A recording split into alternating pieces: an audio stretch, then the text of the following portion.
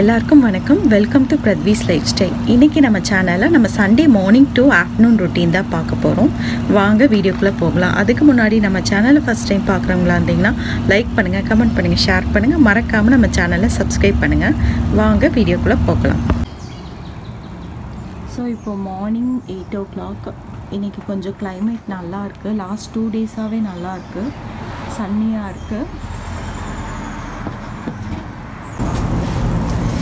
So காலையில் எந்திரிச்சோன்னா first வேலை வந்து பால்கனி கார்டனுக்கு வர்றது தான் ஸோ நான் ஒரு சில பிளான்ஸ்லாம் இது பண்ணி வச்சுருக்கேன். இது வந்து ரோஸு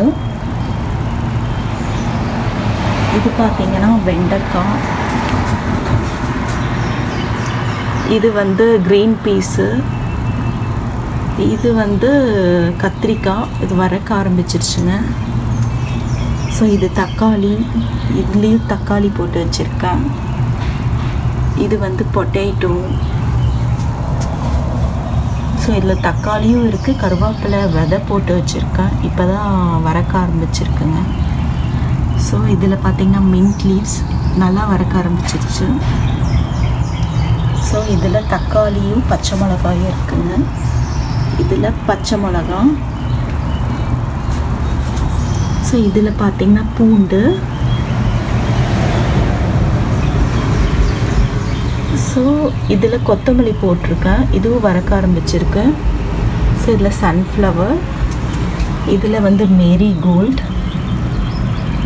இதில் பார்த்திங்கன்னா மார்னிங் க்ளோரி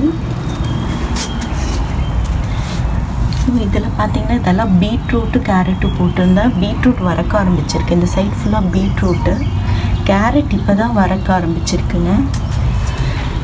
இந்த சின்ன சின்ன பாட்டில் இதில் மார்னிங் க்ளோரி ஸோ இதில் தக்காளி தான் இருக்குது ஸோ மாற்றணும் இது தக்காளி. ஸோ இதில் பச்சை மிளகா. இதில் வந்து துளசி. இதில் சன்ஃப்ளவர் இருக்குது ஸோ டோட்டலாக இவ்வளோ தான் இருக்குங்க. எல்லாம் இப்போ தான் வரக்க ஆரம்பிச்சிருக்கு. ஸோ இப்போ வந்து காலையில் எழுந்திரிச்சோன்னே ஸோ கார்டன் வந்து செடிக்கெலாம் தண்ணி விடுறது தான் ஒர்க்கே இப்போ டிஷ்வாஷர் அன்லோட் பண்ணிடலாங்க. டிஷ்வாஷர் அன்லோட் பண்ணியாச்சுங்க. இப்போ பால் காய வச்சுக்க போகிறேன்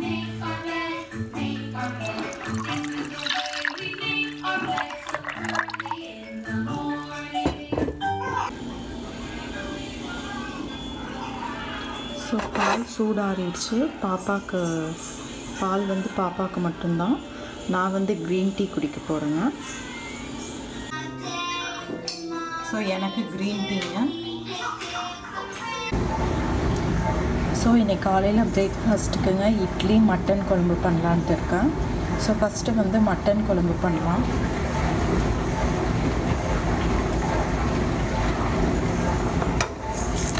ஸோ மட்டன் குழம்புக்கு ஃபஸ்ட்டு ஆனியன் ஸ்லைஸ் பண்ணி வச்சுருக்கேன். அதை போட்டுக்கணும்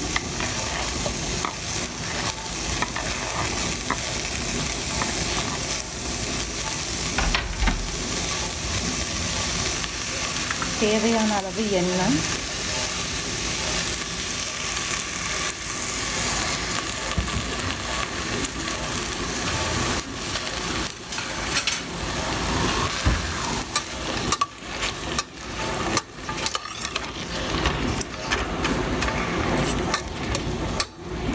இதை நல்லா வணக்கி விட்டுக்கோங்க.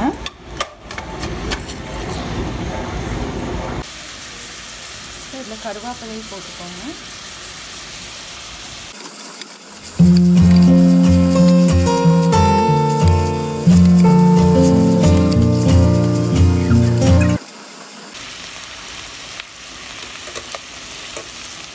ஸோ வெங்காயம் நல்லா வணங்கிட்டு இருக்குங்க. ஸோ நான் இதில் வெறும் வெங்காயம் கருவேப்பிலை மட்டும்தான் ஆட் பண்ணியிருக்கேன். அரைக்கும் போது இஞ்சி பூண்டு தேங்காய் நீங்கள் தேவைப்பட்டால் போ போட்டுக்கலாம். மசாலா ஐட்டம்ஸ் எல்லாமே நான் பவுடரில் வச்சுருக்கனால டேரெக்டாக பவுடர் ஆட் பண்ணிக்குவேன். கறி மசாலா பவுடருமே இருக்குது ரெட் சில்லி பவுடரும் கொரியாண்டர் பவுடர் அப்புறம் வந்து கறி மசாலா பவுடர் நான் தனியாக வந்து ஆட் பண்ணிக்கிறேன் ஸோ அதனால தான் நான் இதில் வந்து எதுவுமே பண்ணல. ட்ரைன் பண்ணிவிட்டு அந்த பேஸ்ட்டை மட்டனுக்குள்ளே போட்டுங்க நான் எல்லா பவுடர் அப்புறம் வந்து சால்ட் எல்லாமே ஆட் பண்ணிக்கிறேன். ஸோ நான் கூடிய சீக்கிரம் வந்து உங்களுக்கு அந்த பவுடர் எப்படி ரெடி பண்ணுறதுன்ற ரெசிபியும் வந்து ஷேர் பண்ணுறேன் வெங்காயம் வந்து நல்லா வெந்துருச்சுங்க. ஸோ இப்போ வந்து ஃப்ளேம் ஆஃப் பண்ணிடுறேங்க. இது நல்லா ஆறட்டும். ஆறுனதுக்கப்புறம் நம்ம அரைச்சிக்கலாங்க.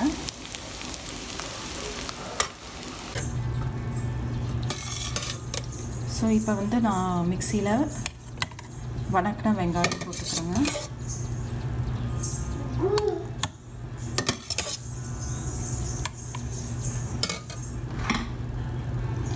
இஞ்சி பூண்டு. தேவைப்பட்டால் தேங்காய் போட்டுக்கோங்க. நான் இன்றைக்கி போடல. உங்களுக்கு வேணும்னா நீங்கள் போட்டுக்கலாம். நான் இன்றைக்கி குழம்பு தண்ணியாட்ட தான் வைக்க போகிறேன் அதனால நான் தேங்காய் வந்து போடலிங்க. ஸோ இதை அரைச்சிக்கலாங்க. ஸோ மட்டனை வந்து கட் பண்ணி நல்லா வாஷ் பண்ணிட்டேங்க. மட்டன் வந்து மஞ்சத்தூள் உப்பு போட்டு வாஷ் பண்ணிட்டேங்க. ஸோ அடுத்தது வந்து நம்ம அரைச்ச பேஸ்ட் வந்து உள்ள மிக்ஸ் பண்ணிக்க போகிறோங்க அரைச்ச பேஸ்ட் வந்து உள்ளே போட்டுக்கிட்டேங்க. தேவையான அளவு தண்ணி ஊற்றிக்கோங்க சில்லி பவுடர் கறி மசாலா தூள்.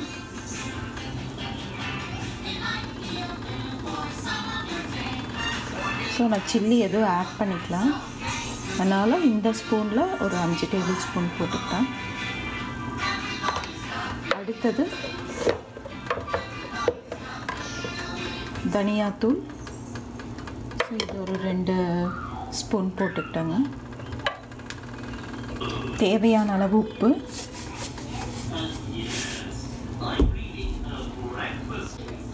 தண்ணி தேவையான அளவு ஊற்றிக்கோங்க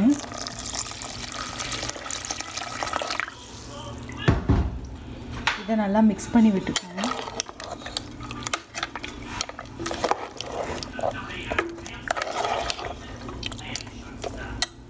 இன்னும் தண்ணி ஊற்றிக்கோங்க கொஞ்சம்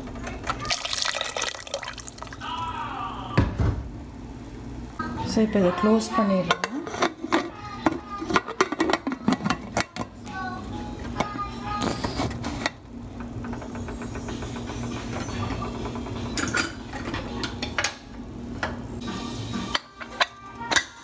ஸோ மட்டன் வந்து குறைஞ்சது ஒரு ஏழு எட்டு விசில் வரணும்.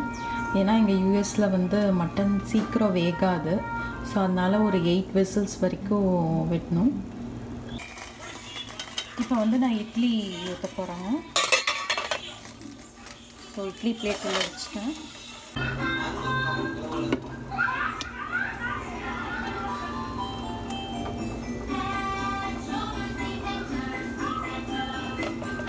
ஸோ இப்போ இட்லி ஊற்றிக்கிறேங்க மாவு நேற்று நைட்டு தான் ஆட்டினேன்.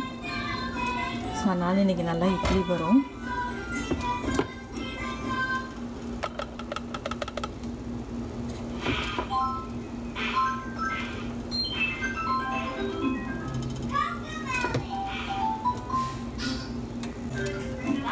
ஸோ இப்போ க்ளோஸ் பண்ணிக்கிறேங்க.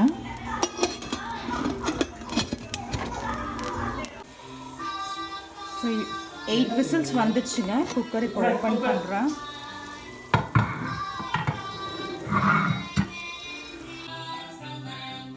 பிரேக்ஃபாஸ்ட் ரெடி ஆயிடுச்சுங்க. இட்லி மட்டன் குழம்பு. ஸோ ஃபஸ்ட்டு நான் குழந்தைக்கு ஃபீட் பண்ணிவிட்டு அதுக்கப்புறம் தான் வந்து நான் நாங்கள் சாப்பிடுவேங்க.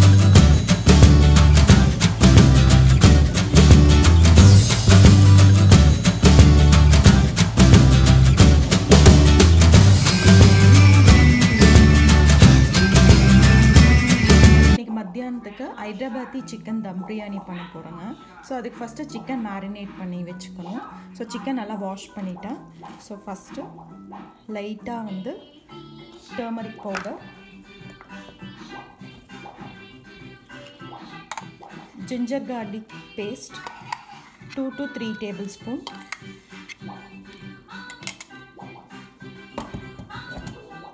chilli powder four table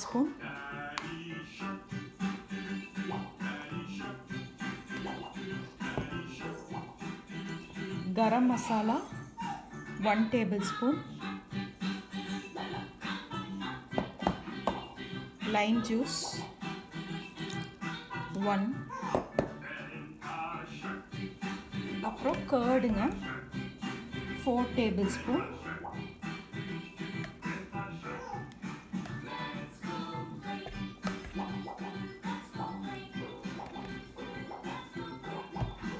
அப்புறம் சால்ட்டு தேவையான அளவு சிக்கன் தேவையான அளவு சால்ட் ஆட் பண்ணிக்கோங்க.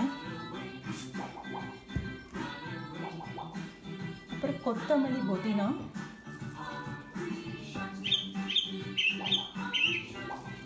தேவையான அளவு. அப்புறம் Kashmiri red chilli powder add பண்ணிக்கோங்க. கலர் நல்லா பிடிக்கும். அப்புறம் ஆயில் கொஞ்சமாக ஆட் பண்ணிக்கோங்க.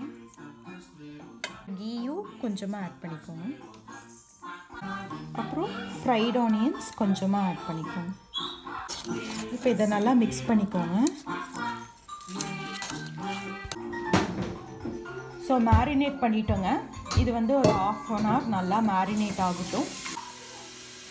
இது ஆஃப் அன் ஹவர் நல்லா மேரினேட் ஆயிடுச்சுங்க.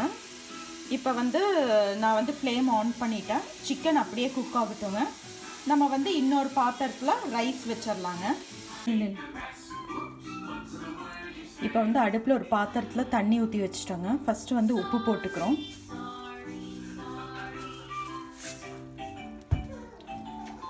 உப்பு போட்டுக்கிட்டதுக்கப்புறம் இந்த மசாலா ஐட்டம்ஸ்லாம் போட்டுக்கிறோங்க. சோம்பு பிரிஞ்சி இலை பட்டை கிராம்பு ஏலக்காய் இதெல்லாமே இருக்குது ஸோ இதை அப்படியே உள்ளே போட்டுக்கிறோங்க. அப்புறம் வந்து கொஞ்சமாக எண்ணெய்ங்க.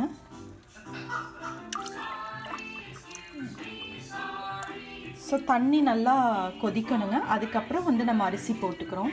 அரிசி வந்து நான் க வாஷ் பண்ணி ஊற வச்சுருக்கேங்க. தண்ணி கொதிக்க ஆரம்பிச்சிருச்சுங்க. இப்போ அரிசி உள்ளே போட்டுடலாம். நான் நாலு கப் அரிசி எடுத்துருக்கேங்க.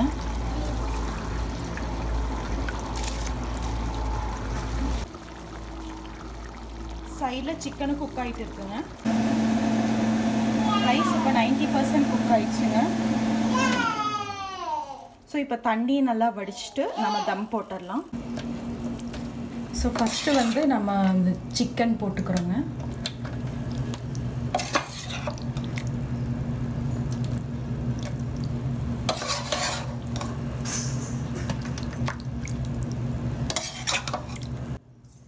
அடுத்தது மேலே ரைஸ் போட்டுக்கிறோங்க அடுத்த லேயர்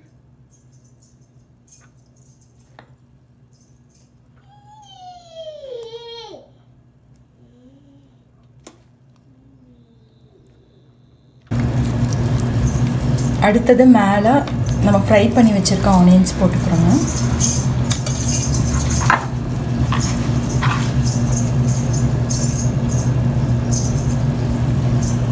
அப்புறம் இதுக்கு மேலே கொத்தமல்லி புதினா தூவி விட்டுக்கிறோங்க.